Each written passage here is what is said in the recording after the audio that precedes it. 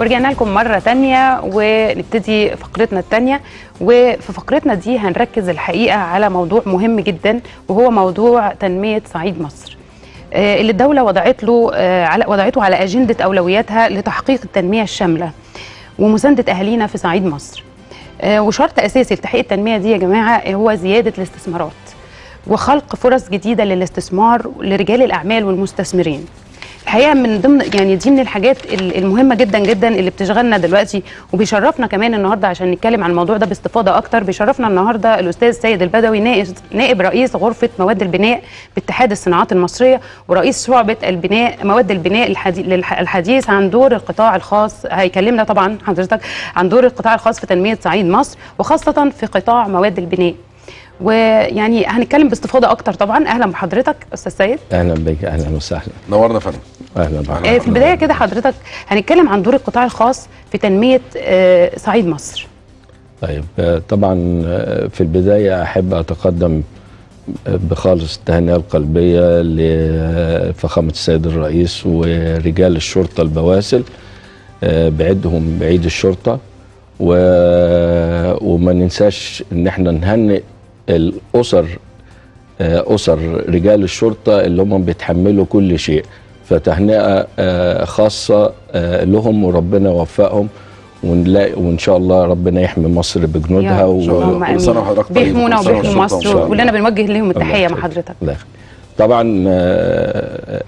صعيد مصر هو النهارده ال- الدولة كلها التوجه السياسي لتنمية صعيد مصر. تمام. لأن طبعا اللي هم ما كانش لهم حظ كبير في التنمية في الفترة السابقة وعارفين إن هم معظم أهالي الصعيد مهجرين. كله بيجي بيشتغل في مصر بيشتغل في معظم بيسافروا بره ولكن النهارده بنقول لا إحنا محتاجين إن إحنا ننمي صعيد مصر.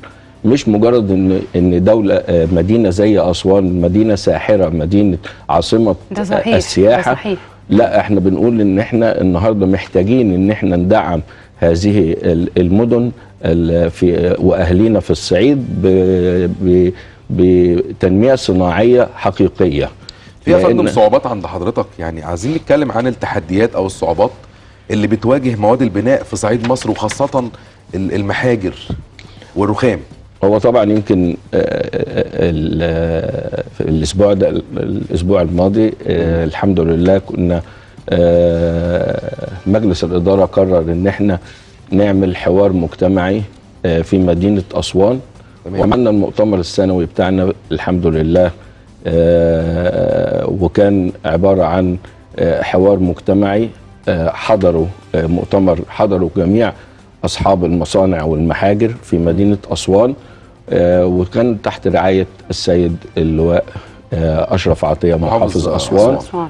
و- هنتكلم حضرتك عنه باستضا... يعني باستفاضة شوية لكن خليني أقول لحضرتك الصعوبات المشاكل اللي حضرتك يعني كنت بتواجهها الأول واللي كانت بتقابلك في مواد البناء في صعيد مصر. طبعا إحنا بنتكلم على ان إن آه، حجم الصناعة في أيوة. الصعيد مصر قليل جدا جدا. يعني إحنا نملك 35 مصنع في مدينة أسوان فقط لا غير. تمام. تمام. هذه النسبة ضعيفة جدا جدا بالنسبة للتنمية الصناعية. آه، في قرار جمهوري صدر لهيئة التنمية الصناعية سنة 2008 ورقمه 358 خصص لهيئة التنمية الصناعية آه، أراضي آه، في بعض المحافظات ومنها الصعيد زي. مدينة أسوان تمام. لإنشاء مدن صناعية في هذه المدن. تمام. آه، فوجئنا السنة دي بإن معظم آه، محاجر أسوان بيشتكوا إن المحاجر توقفت.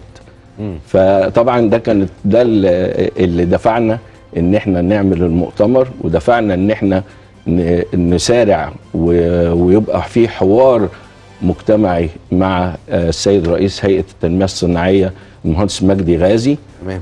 وقبل ما نسافر تم التواصل مع آه، باشمهندس مجدي غازي رئيس الهيئة وشرحنا له الموضوع لأن طبعا النهارده إذا كان آه، في أراضي صناعية موجودة وبتخصص لهيئة التنمية الصناعية ولكن بها محاجر ومحاجر قائمة منذ زمن طويل يعني.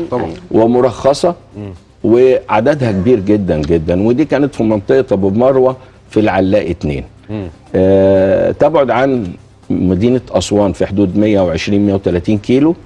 وعشان نعمل منطقة صناعية هي لسه لسه ما تخططتش. ولكن عشان نعمل منطقة صناعية فاحنا محتاجين إن إن يكون المحاجر دي هي الجاذبة للصناعة اللي بتقيم على المواد الأولية صحيح. اللي هي الجرانيت. تمام. لأن معظم محاجر أسوان هي جرانيت وبتمثل 90% من آه، آه، الجرانيت في مصر كلها. في مصر كلها؟ في مصر كلها. 90% من حجم الجرانيت اللي موجود في مصر كلها. تمام. طبعا ال- الصعوبات كلها في النقل الصعوبة كلها في العمالة الصعوبة كلها في التراخيص. و... وده يعني أنا لو تسمحوا إن أنا أشرحه. آه اتفضل. طبعا إحنا بالنسبة لنا طبقا لقانون الثروة المعدنية ولائحته التنفيذية اللي لسه متوقعة الأسبوع الماضي آه، طبعا ال- التراخيص بتبقى لمدة عام واحد فقط آه، ليست هذه المدة كافية. كافية صحيح. لجذب الاستثمار في هذا القطاع صحيح. فإحنا بنطالب طب بعد السنة ما ما بيتجددش بمدة مماثلة بيتجدد؟ بنفس المدة تمام ولكن الحمد لله ربنا وفقنا إن آه، آه، الموافقات اللي آه، اللي بتحصل بيحصل عليها المستثمر من هيئة العمليات والأمن الوطني ووزارة البيئة و-. والاثار بتتيسر لا هيئة العمليات كانت بتدي سنة واحدة الحمد آه. لله السنة دي ابتدت تدي موافقة بسنتين طب كويس يعني ننظر محتاجين- فترة شوية آه من- إحنا محتاجين إن طبعا آه. إن إن إحنا لأن ال- الدستور نفسه بيدي مهلة بيدي ال ال آه، الحق إن إحنا نقدر نجدد لمدة 15 عام تمام فإحنا طبعا طبعا طبقا لموافقه هيئة العمليات فإحنا اتكلمنا مع سيادة المحافظ على إن يبقى التجديد سنتين, سنتين. والحمد لله آه، آه، قبل قبل ده. طيب يا فندم أنا عايزة أعرف من حضرتك إيه التوصيات اللي خرجتوا بيها من المؤتمر اللي نظمته الغرفة في أسوان طبعا مجدي بيه غازي آه، رئيس الهيئة وافق على تجديد آه، محاجر أسوان تمام لمدة عام لحين تقنين الأوضاع. كويس آه، تقنين الأوضاع هو هيتم بروتوكول إن شاء الله في بروتوكول بين محافظة أسوان وهيئة التنمية الصناعية آه، لتنظيم عملية التجديد. والترخيص لهذه نفس ال- المحاجر نفس الكلام اللي بنتكلم آه. فيه بالظبط آه. لأن النهارده هي صاحبة الولاية على الأرض هيئه. التنميه الصناعيه هي صاحبة الولاية والمحافظة هي اللي بترخص تمام. فطبعا مستحيل إن هو يقدر ياخد موافقة إلا عن طريق هيئة التنمية الصناعية الأول كانت هيئة التنمية الصناعية بترفض لأن ما كانتش تعرف إن في محاجر موجودة في هذه المنطقة ولما عرفنا إن في محاجر وافقوا على آه، إن هم يجددوا.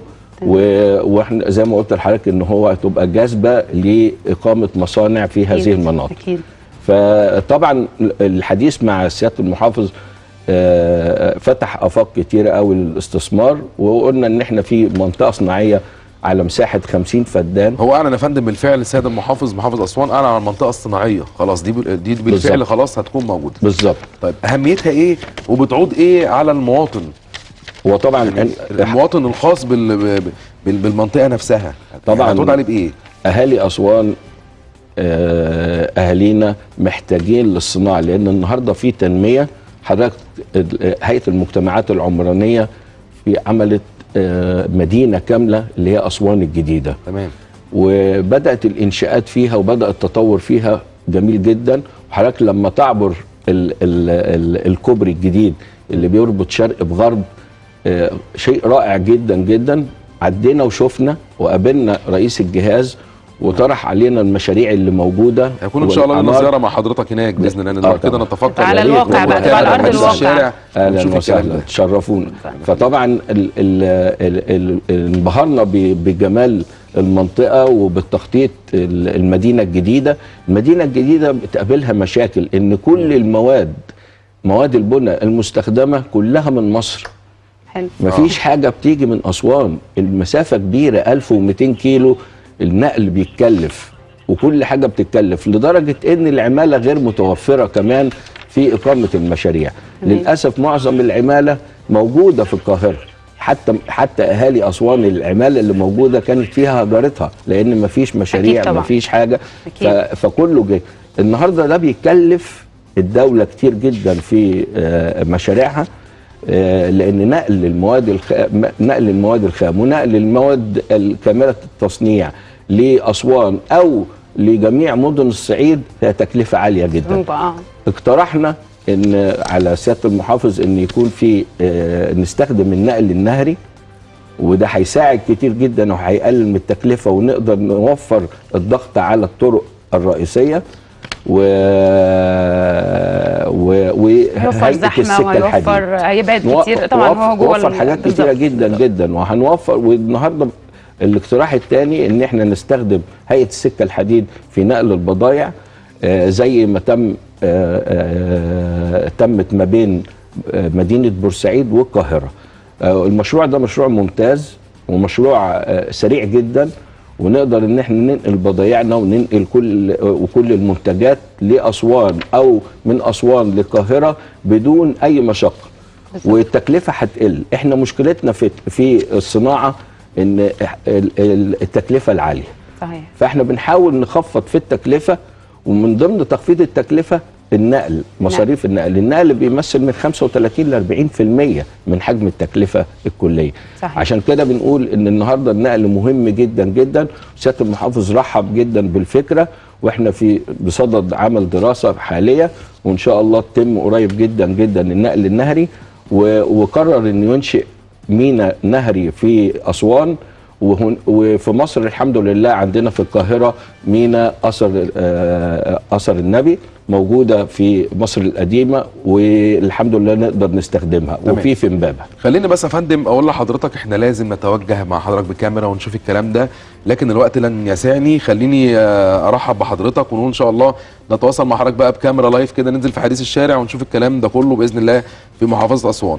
بشكر حضرتك طبعا آه، لوجودك معانا النهارده الأستاذ سيد البدوي نائب رئيس غرفة مواد البناء باتحاد الصناعات بشكرك يا فندم نورتنا. أهلا وسهلا. أشكر حضرتك. أهلا وسهلا. آه هروح حضراتكم طبعا الفقرة الثانية معانا الأستاذ محمد آه علي هيكمل معانا بقى. الأسبوع اللي فات كان عندنا مشاكل واتكلمنا في السيارات والتأمينات والتعويضات والكلام ده كله.